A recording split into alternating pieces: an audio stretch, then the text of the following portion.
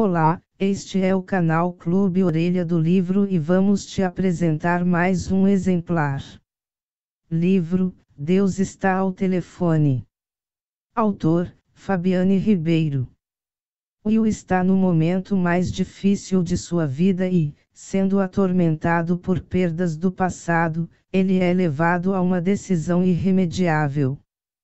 Contudo, quando em uma estação de metrô, prestes a cometer um grave erro, Will é impedido pelo toque de seu celular que, por sinal, estava desligado e sem bateria.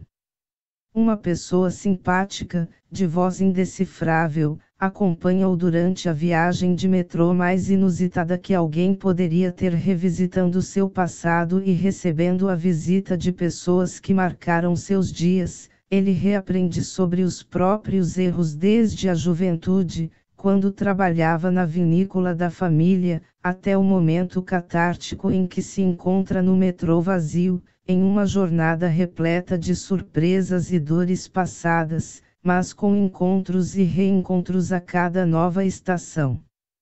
Boa leitura! Não esqueça de inscrever-se no canal, isso faz o YouTube divulgar mais o nosso conteúdo. Deixe seu like e ative o sininho.